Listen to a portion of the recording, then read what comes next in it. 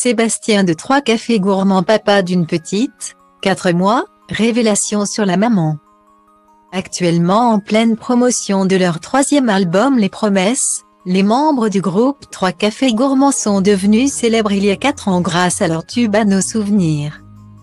Interviewés par le magazine Closé, les interprètes des titres Un air de rien et comme des enfants ont dévoilé les secrets de leur quotidien et en particulier s'ils étaient en couple ou non.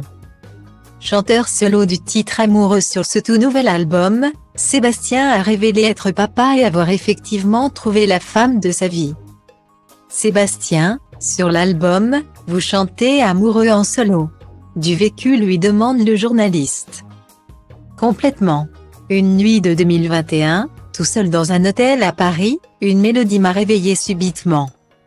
Et j'ai tout de suite voulu écrire quelques paroles. J'ai réalisé à cet instant que j'étais vraiment amoureux. Elle est corésienne. Et nous avons une petite fille, Louise, qui a 4 mois. Répond l'artiste.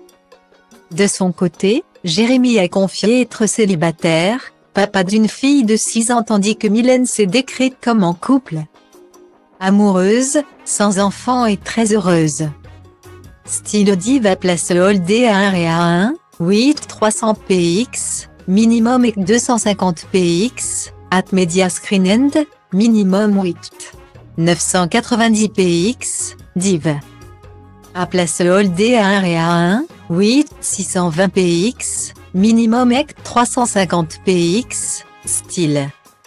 Dans ce nouvel album, le trio a par ailleurs confié que la chanson Quand avait été écrite par Jean-Jacques Goldman.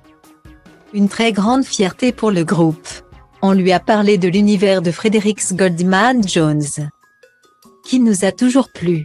On s'est aperçu qu'il s'était beaucoup documenté sur nous et nos musiciens. Point.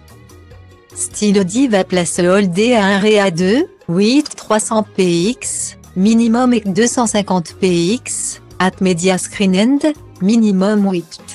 990 px, div. À place Holdé à 1 Ré à 2, 8, 620 px, minimum EC 350 px, style. Dans le passé, le groupe 3 Cafés Gourmands avait reçu une mise en demeure de la part de deux de ses anciens membres.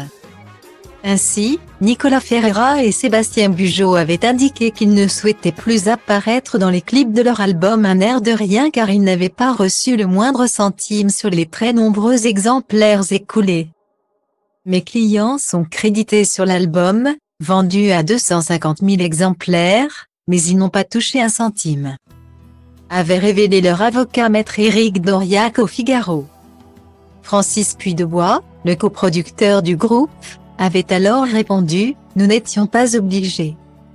On a répondu à leur exigence en signe de bonne volonté, quand Johnny changeait de musicien. Ça ne posait pas de soucis. Cela fait deux ans que le clip est sur la toile et il se manifeste maintenant. C'est curieux. Serein, il avait conclu, il n'y a pas de conflit, juste une histoire d'amour qui finit mal. Guillemet.